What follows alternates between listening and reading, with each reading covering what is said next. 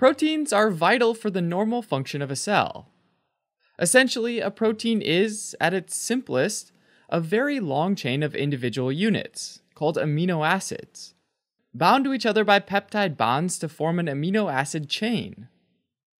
They sort of resemble a string of beads, and they get twisted and folded into a final protein shape.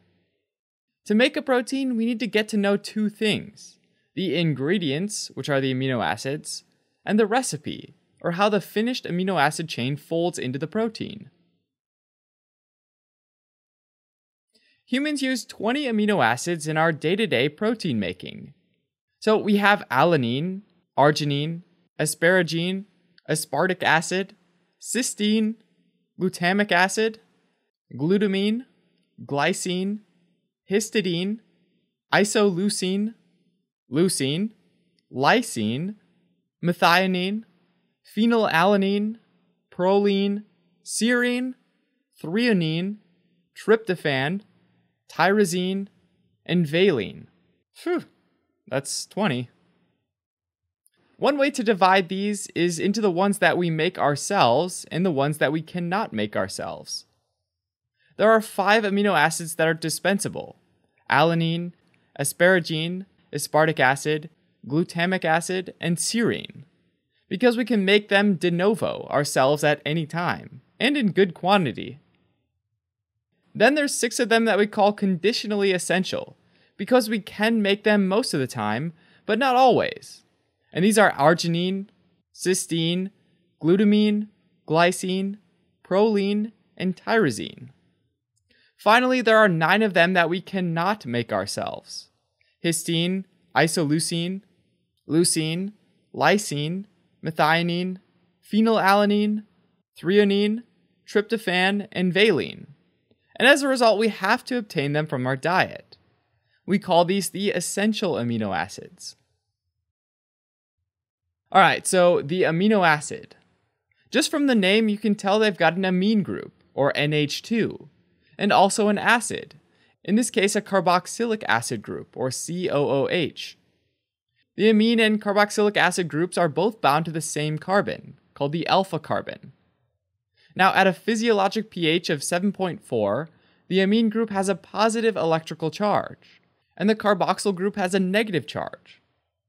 Having both a positive and a negative charge makes amino acids a type of Zwitterion, which is German for hybrid or double ion. Now, the alpha carbon also has a side chain, sometimes marked as R.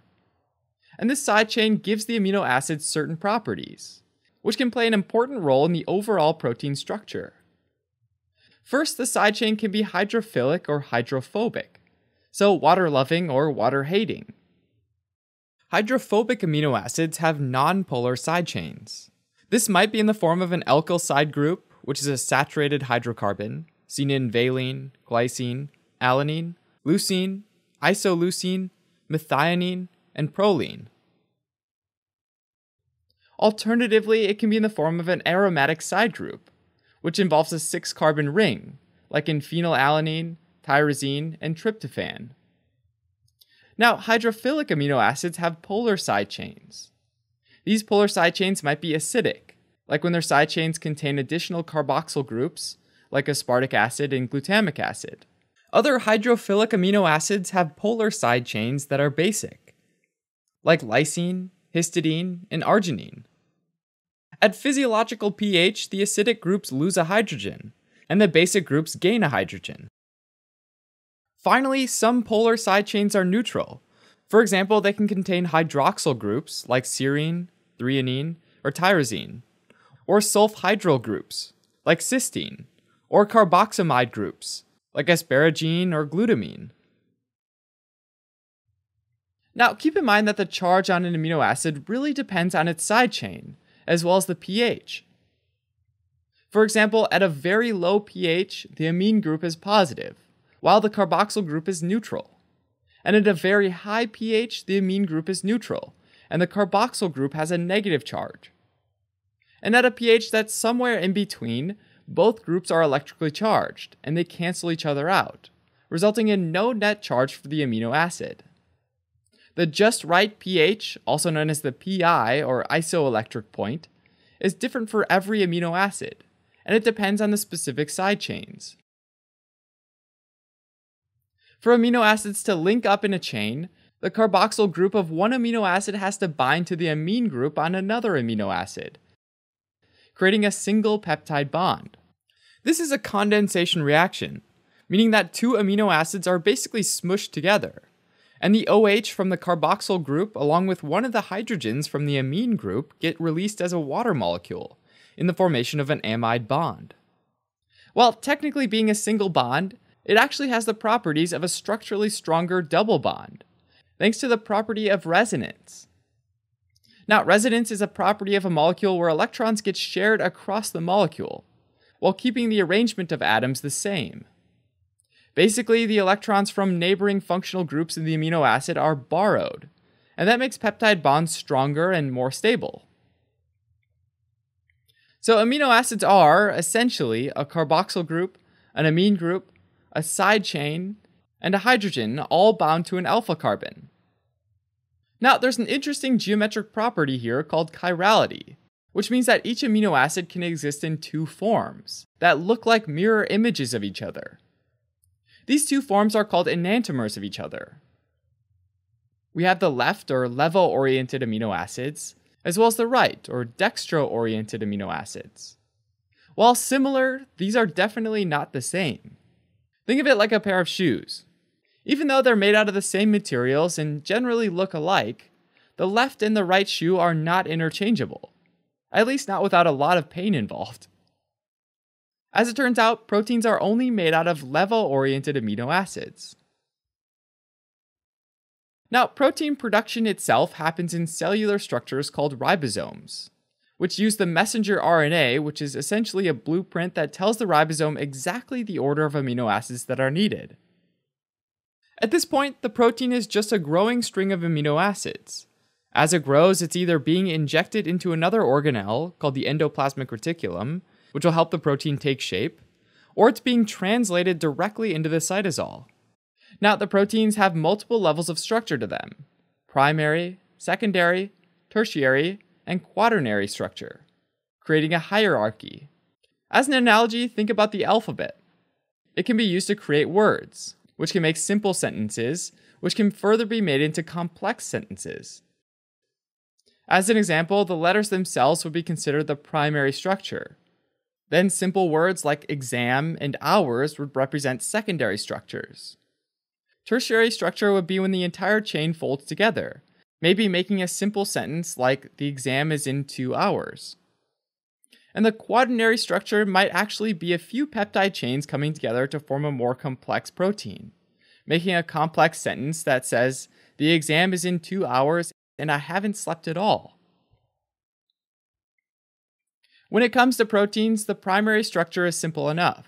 It's just a linear sequence of amino acids connected through peptide bonds, like a string of pearls. Now, the peptide bonds between the amino acids are very rigid. But by comparison, the single bonds connecting the amide functional group of the peptide bond to the alpha carbon are flexible. That allows significant freedom of rotation.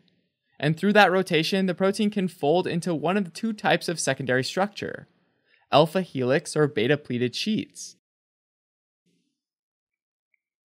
The alpha helix resembles a spring, the helical structure brings the CO of the first amino acid near the NH of the fifth amino acid. The second CO gets near the sixth NH, and so on.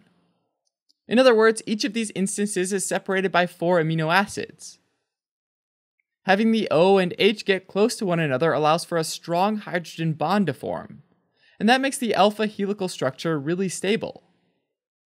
Beta pleated sheets also rely on hydrogen bonding, but slightly differently. Imagine a neatly folded piece of paper. In beta pleated sheets, hydrogen bonds form between the NH on one flap of paper and the CO on another flap of paper. And these bonds almost hold or glue the sheets together. That makes beta pleated sheets really stable as well. Now, tertiary structure is the overall shape of the polypeptide chain, and it includes the secondary structures as well as other features. For example, two sulfur containing cysteines can bind to form a disulfide bridge. Also, hydrophobic amino acids form bonds with one another and orient themselves toward the inside of the protein. In that way, they avoid contact with water. It's like the hydrophobic amino acids are being a bit shy. Basically, the way a polypeptide chain twists and turns to form its tertiary structure is kind of like the way headphones get tangled up in your pocket. Quaternary structure is the final level, and it's the level at which multiple polypeptide chains come together to form a larger protein structure.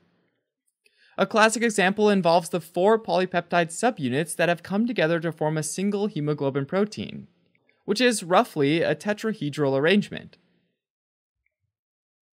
Alright, as a quick recap, there are 20 amino acids, 5 dispensable, 6 conditionally essential, and 9 essential. The primary structure of a protein is the linear sequence of amino acids. The secondary structure includes both alpha helix or beta pleated sheets, both of which rely on hydrogen bonds.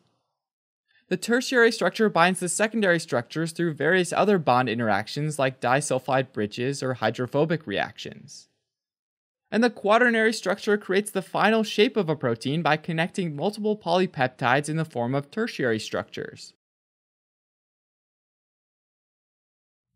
Helping current and future clinicians focus, learn, retain, and thrive. Learn more